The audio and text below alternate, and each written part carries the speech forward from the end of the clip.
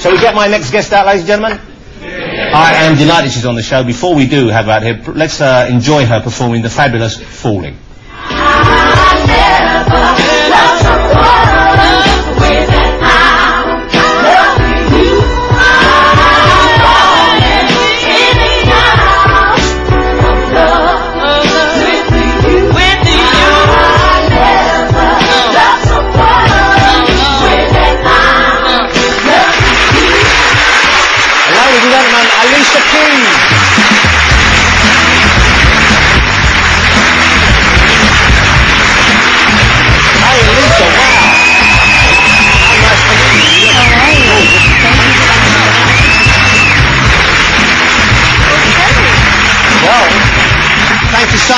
Coming on. You look absolutely gorgeous. Thank you for having me. Uh, it's lovely to see you. Now, Falling was a terrific song. It, uh, it did, I know, fabulously well for you. I appreciate it. I love Falling. It's my favorite so far. Uh, and that album, the first album, it sold a, a tremendous uh, volume. I think it was 8 million copies? Yeah, I think it was actually 10.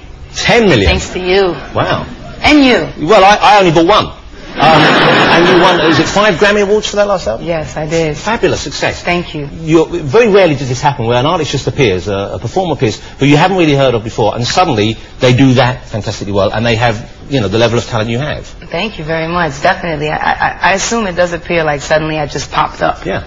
Like pop. The only, the only time I can remember that in the past was the first Whitney Houston album came in, and we'd never heard of this woman. We put this on, we said, my God, she's got the whole thing. She's a beautiful woman. She sings fantastically well. It just was, it was alarming, if anything. Yeah, she's wonderful. Tell us a bit about yourself be- before we discovered you. Uh, What were you doing? What was your childhood like? When did you learn to play the piano? When did you first realise you could sing? When did you start doing your hair like that? Just fill in. just give us a basically any details you want. I'm going to pop out for 10 minutes. Okay, and I'll, and I'll see Yeah. when you come when back. I come back, I want them to know anything about you. All right, good. Uh, no, but tell us, where, you, where you're from New York originally, is that correct? Yes, I was born and raised in New York, and I still live in New York. Um, I don't see myself leaving, except maybe to come to London. Okay. You don't fancy living on the West Coast or? No, I like I like where I live. Um, you know, it's what I know. It's the streets that I've walked. Uh, it's comfortable. And when you, when you were growing up, you lived in the area which uh, used to be known as Hell's Kitchen, I believe. Correct. It isn't really called that anymore. It isn't. It's called Disneyland now. Yeah. This, this is up by 42nd Street, isn't it? Exactly. No, it was way different when I was growing up. But one of the one of the, the, the most funny things that I remember is when I went to Germany, um, they had this paper, and I was on the cover of the paper, and I said, "Oh wow," you know, because it was my first time in Germany, and the title was Alicia Keys from Hell.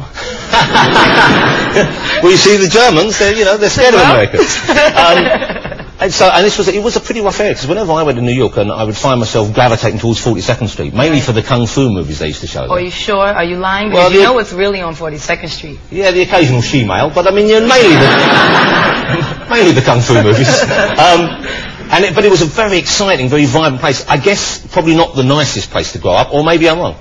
You know what? It was definitely a, a medium of a lot of different types of people. It, it was uh, a lot of she-males, a lot of kung fu movies, Yeah. strippers, Yeah. uh, pimps, prostitutes. But at the same time, it was incredible because it was theater and it was like music, Yeah, you know, and it was Broadway. So And- there were so many things. And certainly vibrant, I would have thought, and challenging in, in a lot of ways. Very. Um, but you don't strike me as being a kind of uh, a tough person in that respect. You- I you know? don't. I don't look tough to you. Well, no, not really.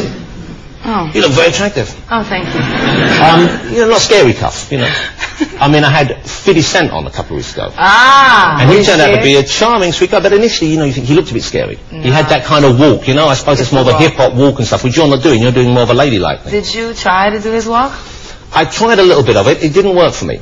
Did it suit you? I'm too elegant and graceful. I've noticed. My years at the bar prevent me from walking in such a manner.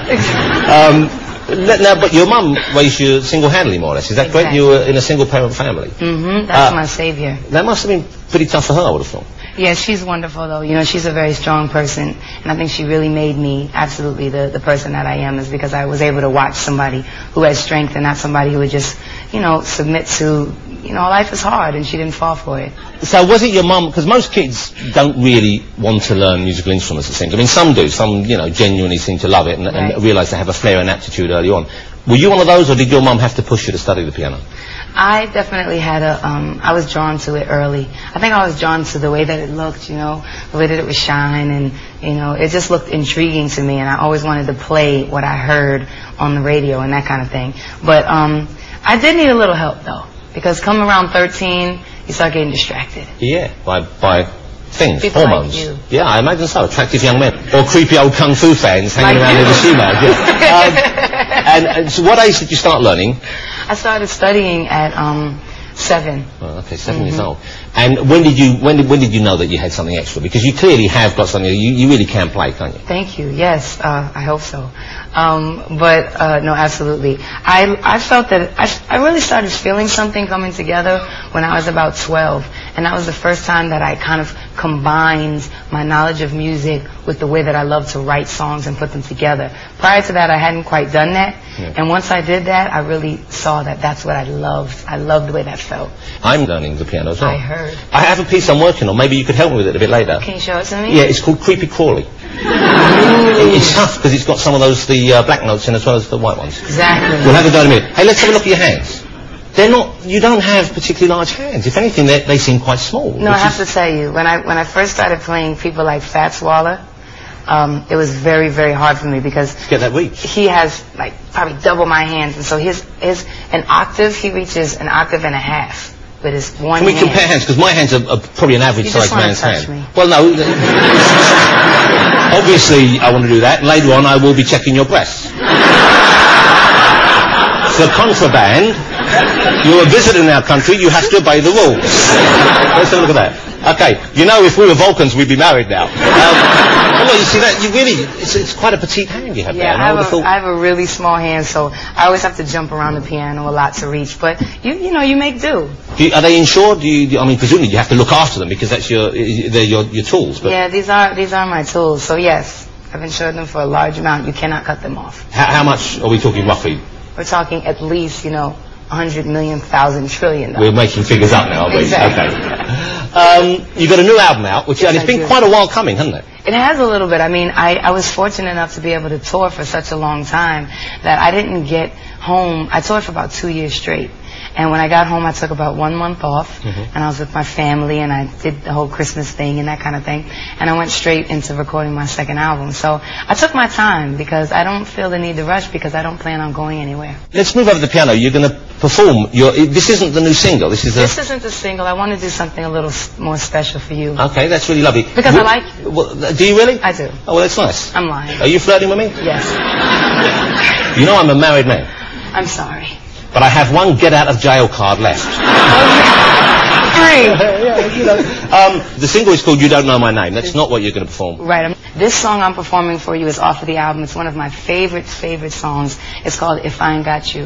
And I just wanted to do it very personally between us like that. Um, and before you do that, w- would you help me out with Creepy Crawly? Yeah, let me I see. have- What's going on? I don't have to be tough with you. Well, no, don't be tough with me. But look, this is come on over me. Look, this is my, my this is genuinely this is my grade one examination. Don't it's December the second, and I tell you what I'm scared Really? of. I know I'm going to turn up. I'm 43. I know what you're thinking. I don't look it. You don't. But I'm going to turn up, and there's going to be like six-year-olds there and seven-year-olds with little briefcases, and they're going to be confident, and I'm going to okay. be less Go confident. ahead. Let me make you comfortable. First, you sit down. Okay. Show me how you sit. All right. Well, this is uh, it's called Creepy Crawly. Okay. I'll put it there. You know, and my daughter's learning at the same time, and she's written on there E flat idiot, which just doesn't help me out at all. She did write E flat. Now, well, here we go. Now, you tell me what I'm doing wrong. Watch my fingers. All right. Wait. What's wrong with that? All right. You're Am I in the wrong place? Go for it. That's a C, middle C. Yes, very good. Very, that, very good. Very this good. is uh, G down there. All right, because you play something. Now, you're making me a bit nervous.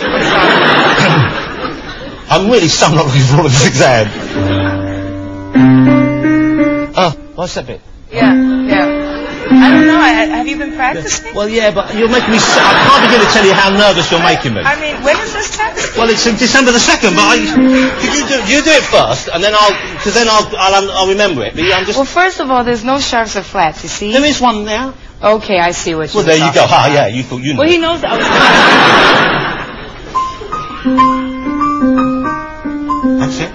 And then the other one. But what happens is when when you're gonna have to do it. Well, I can try it now. right, I just need a reminding of the tune. Okay. What are you doing Oh. on December the second? Well, I think I'll be in New York.